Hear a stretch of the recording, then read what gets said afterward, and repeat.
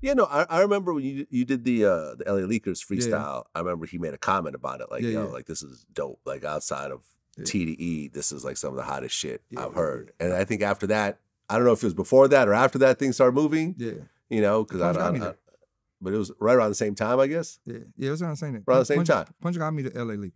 No, Oh, he's the one that got to put you on Yeah, there. yeah. Ah, So yeah, so this thing's been working behind the scenes, like a lot good. work I like that. And then Punch puts together the group, A Room Full of Mirrors. Yes, sir.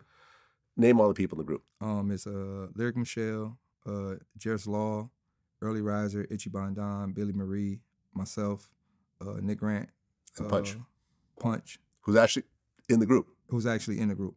Who's actually Right. a member in the group. Um, yeah, we outside. Okay. And you guys actually put out an album Yeah. last year. Yes, most definitely. Or more like a visual EP. The album is on the way. Right. And, you know, look, you know, we're just gonna keep it hundred. I listened to it, it was dope. Yeah, You know, it was really kind of like it was very lyrical. yeah, And the beat sounded kind of more kind of like a boom bap yeah. kind of you know what I mean? It wasn't like the, the new style. Like it wasn't like it Mm-mm. was like, okay, like this is like classic hip hop yeah. with a bunch of rappers really like spitting one after the other, sometimes going back and forth Mhm. and so forth. Um, you know, I looked at the numbers, the numbers were not huge. Yeah, Like I think the biggest song had like 200, 300,000 views, Yeah. which in this day and age is like, you know, if you're not getting millions, yeah. you know what I'm saying? So when it came out, were you okay with it, disappointed with oh yeah, it? yeah. See, um, and like I said, sometimes it's not about it's not about like a tree being a hundred foot tall as soon as you plant it. Mhm. Like that, the album is designed to set up a very strong root. hmm It sets up a very strong core. And um, you know, with the room full of mirrors, like, and if if you notice, like, this is the president of TDE.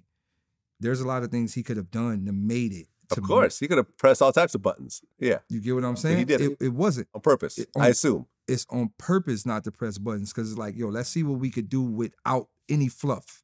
Yeah, I think uh Vlad TV was made one of the first announcements. one of the first times, yeah. Shout Yeah. out to Vlad. But yeah, but I think Punch was more so like let you know he can clearly say, "Hey, TDE roster, everybody post this." Right. You get what I'm saying? And but he was like, "No, I don't want to do none of that. I want to see what we could get completely organically Yeah. from just blatant good music." hmm and that's kind of what he doing. So it's like let's let's build the bricks very solid before we add all the glitter on top. Yeah. And, and that's kind of what we are on right now. It's core. It's all about the core. That's why, you know, we didn't brand it as, you know, with the label stamp. It's like, yo, let's just let's see how many people will fuck with us before the hype come. hmm Right. Before all the extra hype. Yeah. And I and guess it's epic. It's epic. It's like a nice, a nice chunk, like a good solid chunk of people. Like right now, we could probably pack out like a 2,500 to 3,000 people venue. Okay. That's solid. It's perfect solid for a room full of mirrors. That's solid. Yeah. And that's with no, if, if you ever think, we didn't even do no super press run. We didn't, we didn't hit the radio stations. We ain't have tell all the No, blog sites. There was like a genius interview. That was it. and That and was that's it. recently. But we Yeah. and and this is this is deliberately, purposefully to see who is here before the clout.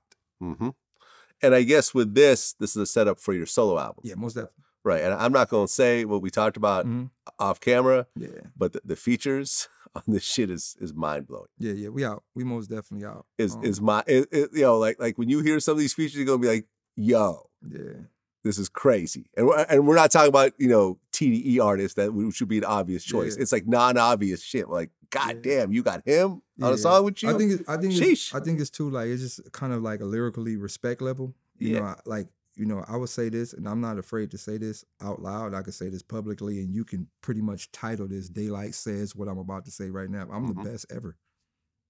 So some people are like, yeah, I need a piece of that. I'm the best ever. Nobody in the hip hop space is better than me. Not a single person. there you have it. I'm better than Biggie Smalls. I'm better than Pac. I'm better than everyone. and you should think that way. I am. I don't think that way. I am. You are okay. There you go. Nobody in the space of hip hop would disagree. Not a single rapper at all. Not one. There you have it. I'm like a celestial of hip hop. Like I control time, space, every. Nobody's gonna say nothing. Uh. I'm the best ever.